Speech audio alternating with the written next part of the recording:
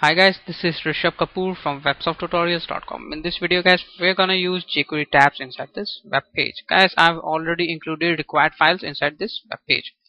Guys, these are jQuery UI, UI files. First one is a CSS file and the rest of the files are JavaScript files. If you don't know that how to download and include these files, uh, in, include these jQuery UI files, you can click on the video links which are appearing on the screen. So uh, let's begin guys. Firstly guys I'll make a div tag here and I will give the ID of tabs. You can give any any ID and I'll use this command end of tabs. It's optional but I like to use it. So firstly guys I'll make a another list and I'll make uh, three another lists.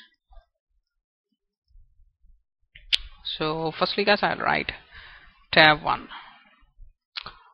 I'm uh, using a hash here because we are uh, not creating hyperlinks uh, from outside this page. We are creating hyperlinks inside this from uh, in inside this page. So I'll write uh, hash tab 3 now I'll write tab 1 tab 2 and tab 3 firstly guys I'll open it in browser. I can see tab 1 tab 2 tab 3 now I'll make div tag of tab 1 because the content of this tab will be uh, uh, written inside this tab. So I write I use a p tag. It's uh, so I write this is content 1 now I'll make a div tag for second tab. So I'll write div id tab 2 and I'll write this uh, sorry p tag. Right this uh, is second content. And the same way I'll make the div tag for third tab so I'll write div id tab 3 so I'll write this is tab 3 sorry this is third content whatever you want to write. So firstly guys uh, I'll go to browser and refresh. Now you can see this is content one this is second content this is third content. Now guys we will convert this into tabs. Now for that guys we'll go to script tags and in between these script tags we will write uh, some jQuery. Firstly we'll write a document ready function. So I'll document ready function. Then we'll uh, use single quotes or double quotes whatever you want to use. Now we'll use uh, this id which is tabs. Now tabs dot tabs that's it. You can give any name. I will give it uh, change it to my tabs. So you will write my tabs here. So let's refresh. Now you can see it is uh, converted into tabs. This is tab 2 second content. This is third content. Uh, this was about uh, some jQuery UI tabs. Guys, suppose you want to give some styling to it. Or you want to change this uh, uh, red color. You want to change the color of uh, uh, this tab or this tab. So we will we can style it. So uh, before styling, guys, I wanna tell you one more thing. when I'm clicking, it's showing the content. So in the same way, we can use a mouse hover event. Means when I hover my mouse over this tab then the content of that tab will be uh, content of the that tab will be shown.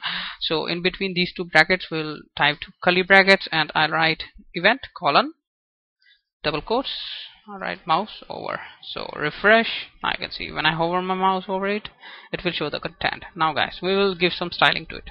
So for that guys uh, I'll make a style tag here and in between style tag. Firstly guys I'll give it a border of red color. It's in uh, I think it's hash CCC in color light uh, gray color.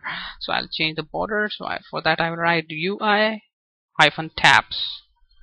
Now I'll type border one pixel solid red. So let's refresh. Now I can see the border is in red color. Now guys we will change this red color to black for that guys uh, I'll type dot UI hyphen tabs then space dot UI hyphen tabs hyphen nav and then curly brackets I'll type background of black. So let's refresh I can see it's in black color. Now guys we will change the color of uh, these tabs uh, firstly guys I'll move this uh, event here.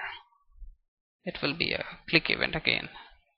Now I'll change the color of these things. So for that guys I'll type. dot UI hyphen tabs then. dot UI hyphen tabs hyphen nav space li space a then. I'll give it a background color of uh, I'll give it a background color of red. So I'll give it background color of red and color of white. Let's refresh. Now I can see it's color of white. Now you can see guys uh, this is this tab is selected. But uh, now we will change the uh, style of selected tab which is active. So for that guys so guys I'll write dot UI hyphen tabs space dot UI hyphen tabs hyphen nav space li dot UI hyphen tabs hyphen active. And space a that's it. Now I'll give it a background color of white and color of black so let's check it in browser. Refresh. Now let's see. The active link has a background color of white and a color of black. So guys this was about jQuery UI tabs. Guys if you have any question in your mind then you can leave a comment below. So thanks for watching this video guys. Don't forget to subscribe my channel to get recent updates about my videos. Let's see you in the next tutorial